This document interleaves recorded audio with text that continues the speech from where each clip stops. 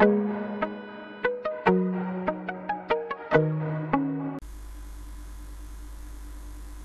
everyone welcome back to Rising Academy अभी हम कुछ वीडियो से cells which is basic unit of life पढ़ते आ रहे हैं, जिसमें लास्ट थ्री और फोर वीडियोज़ में हमने सेल ऑर्गेनल्स के बारे में पढ़ना स्टार्ट किया था। और लास्ट वीडियोज़ में हमने पढ़ा है सेल ऑर्गेनल्स में plastid, mitochondria, endoplasmic reticulum and Golgi apparatus और आज हमें पढ़ना है सेल ऑर्गेनेल्स का next important part, lysosomes. So let's start first topic of lysosome is introduction and discovery lysosome words को टू पार्ट्स में डिवाइड किया गया है। First part is lyso that means break down और separating and second part is somes that means body and this body is derived from soma lysosome को first of all Christian scientist Rene रेडुबो ने 1949 में discover किया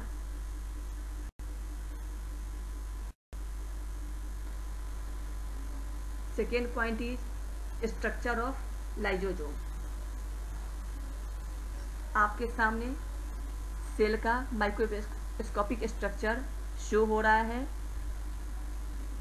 जो यहाँ पर greenish structure हमें round shape में दिख रहे हैं। जब उसे हम इनलार्ज करते हैं तो हम लाइजोजोम्स इस टाइप से हमारा वेसाइकल्स के रूप में शो होता है। और पिक्चर से क्लियर है कि lysosome single membrane bounded organelle है और यह यूकैरियोटिक सेल्स के साइटोप्लाज्म में पाए जाते हैं। लाइजोजोम स्फेरिकल शेप्ड वेसाइकल्स होते हैं और इसमें नंबर ऑफ़ एंजाइम्स जिसे हाइड्रोलिटिक एंजाइम्स के नाम से जानते हैं, वह प्रेजेंट होता है और ये हाइड्रोलिटिक एंजाइम्स सेल के अंदर या सेल के बाहर डिस्ट्रीब्यूशन और breaking down all of all organic materials जो सेल के लिए नीडफुल है, को करने में कैपेबल होते हैं। Next topic of lysosomes enzymes enzymes पढ़ने से पहले हमें इंडोप्लाज्मिक रेटिकुलम के स्ट्रक्चर पर थोड़ा सा रिव्यू करना होगा। जैसे मैंने आपको इंडोप्लाज्मिक रेटिकुलम के वीडियो में बताया था कि इंडोप्लाज्मिक रेटिकुलम न्यूक्लियस से अटैच्ड होता है और इंडोप्लाज्मिक रेटिकुलम में प्रोटीन एंड लिपिड्स के सिंथेसिस होते हैं। और लाइजोजोम में जो एंजाइम्स पाए जाते हैं, वो एंजाइम्स भी इंडोप्लाज्मिक रेटिकुलम में ही सिंथेसिस होता है और ये एंजाइम्स रॉ मटेरियल के रूप में ई आर में सिंथेसिस होता है। इसे हम डिस्क्रिप्टिव वे में पहले समझेंगे। तो इंडोप्लाज्मिक रेटिकुलम में जो रॉ मटेरियल बनता है, वो फंक्शनल नहीं होते हैं। मीन्स वो रॉ मटेरियल वेसाइकल से होते हुए गोल्गी अपैरेटस में इंटर करता है और वहाँ ये मटेरियल्स मोडिफाइड और फंक्शनल होकर फिर बाहर निकलते हैं और लाइजोजोम के वेसाइकल्स में पहुँचते हैं। और लाइजोजोम्स के इनग्रेडियंट्स भी गोल्गी अपैरेटस में जाकर मोडिफाइड होता है और ये मोडिफाइड लाइजोजोम्स फिर बाहर निकलते हैं।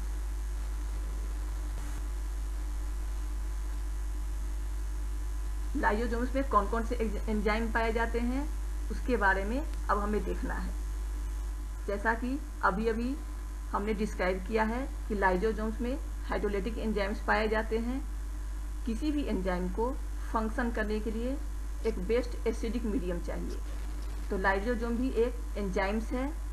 इसे भी फ़ंक्शन करने के लिए बेस्ट परफॉर्म करने के लिए एसिडिक पीएच मीडियम होना चाहिए।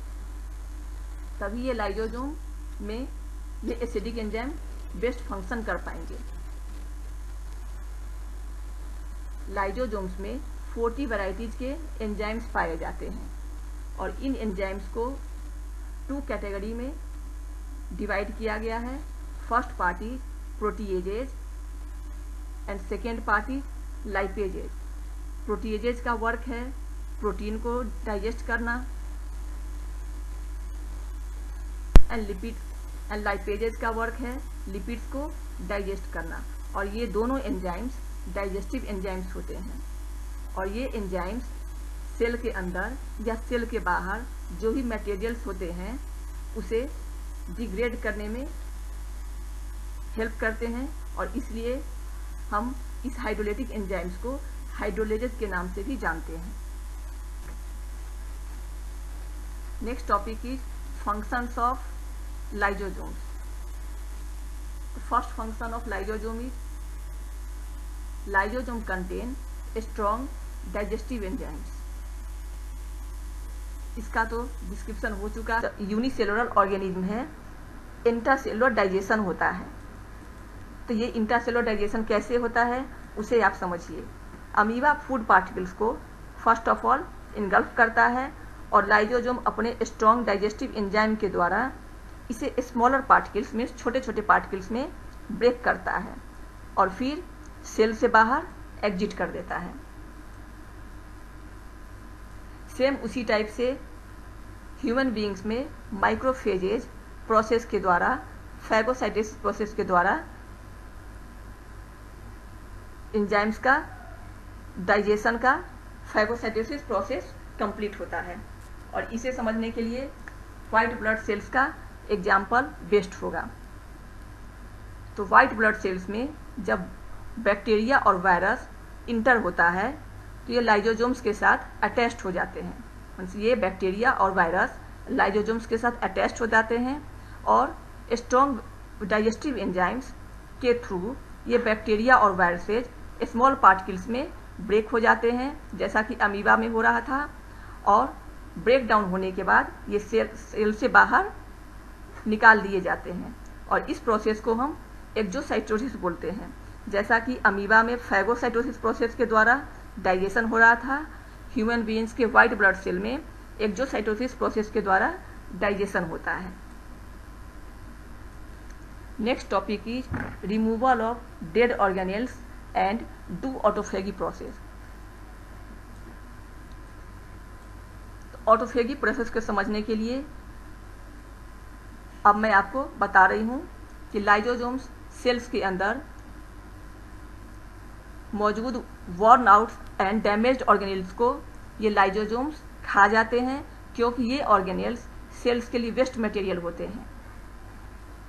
और लाइजोजोम अपने एंजाइम्स के थ्रू इसे डाइजेस्ट कर देता है और सेल फिर से रिफ्रेश हो जाता है। Next topic is work perform in developmental stages lysosomes में जो एंजाइम पाए जाते हैं, वो developmental stage that means embryo stage adult stages में हेल्पफुल होता है। Next topic is lysosomes work as suicidal bags तो इसे आप ऐसे समझ सकते हैं कि सेल्स के अंदर अगर कोई ऑर्गेनिल्स डिसफंक्शनल और डेड और एजेड हो जाते हैं तो वो सेल्स के लिए उसका कोई इंपॉर्टेंस नहीं रहता है। तो लाइजोजोम फिर क्या करते हैं? लाइजोजोम उन सेल्स के साथ जो डिसफंक्शनल या एजेड हो गए हैं, उनके साथ फ्यूज होकर अपनी मेम्ब्रेन को लाइजोजोम्स अपने मेम्ब्रेन को रप्चर कर देता है। और लाइजोजोम्स के अंदर मौजूद हाइड्रोलिटिक एंजाइम्स सेल्स में सिक्रीट हो जाते हैं और इस तरह सेल को कंप्लीट डाइजेस्ट कर देता है। और इस तरह कंप्लीट डाइजेशन प्रोसेस जो लाइजोजोम्स में होते हैं उसे ऑटोफेगी प्रोसेस और सेल्फ हीस्टिंग प्रोसेस भी कहते हैं। इस तरह से worn out cells aged cells और डेड सेल्स को रिमूव करने में लाइजोजोम हेल्प करता है। Next topic is diseases related with lysosomes lysosome से जुड़े हुए डिजीजेज कौन से हैं? तो एक डिज़ीज़ जो आपके स्क्रीन पे दिख रहा है उसे टे सेक्स डिज़ीज़ के नाम से जानते हैं। और ये डिज़ीज़ कैसे होता है, वो आप समझिए। अगर हम ब्रेन सेल्स की बात करें तो ब्रेन सेल्स के इंडोप्लाज्मिक रेटिकुलम में एस में लिपिड का सिंथेसिस होता है। और लिपिड के रिक्वायरमेंट के अनुसार अकॉर्डिंग अगर ब्रेन सेल्स में इन लिपिड्स का स्टोर बढ़ जाता है, अगर उसकी खपत वहाँ पे नहीं होती है तो वहाँ पे ये लिपिड्स स्टोर हो जाते हैं एक्यूमुलेट हो जाते हैं, और जिसके कारण टे सेक्स डिज़ीज़ का जन्म होता है, और इस डिज़ीज़ को हम मेंटल इलनेस के नाम से भी जानते हैं। तो इस तरह से हमारा लाइजोजोम टॉपिक कंप्लीट होता है।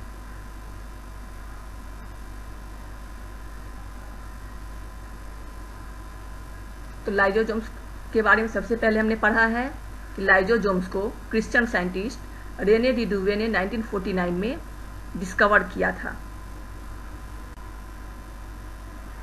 Lysosome single membrane bounded organism है और यह यूकैरियोटिक सेल्स के साइटोप्लाज्म में पाए जाते हैं और लाइजोजोम्स में हाइड्रोलिटिक एंजाइम्स होते हैं जो कि डिस्ट्रीब्यूटिंग और break down of all organic material जो हमारे सेल में होता है, उसके लिए कैपेबल है।